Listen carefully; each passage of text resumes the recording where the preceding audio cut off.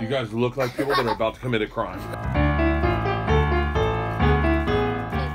Georgia, tell them what we're doing. We're putting a sticker that says the machine with a picture of Dad's face on the car. Lou, do you have a bell on your head? yeah.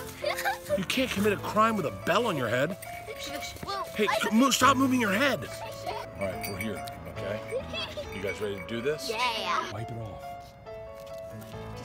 Yeah, wipe it off. Good, good, good, good. It on straight. Okay. There's a car coming. There's a car coming. And where the hell are you guys going? Get back here! Get back here! Pretend you're part of the car.